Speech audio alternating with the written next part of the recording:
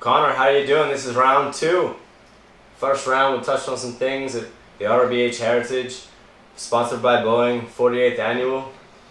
Well, this time I want to tell you about myself just a little bit. Uh, been thinking about what can I bring to this character Sir Willie Innes that, that nobody else can bring. I mean, besides my good looks and my furious beard here, what could I really bring? And what I thought is, handstands. I can do great handstands.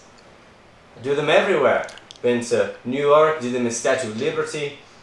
Went to the Taj Mahal, did a handstand at the Taj Mahal. And my friends, I say, I say, Willie, don't you feel weird about doing handstands with a kilt on? And to that I just gotta say, you gotta do what makes you happy. And for hundreds and thousands of people, golf makes them happy. And there's no better place than South Carolina to come and watch some golf. Connor, thank you for your time.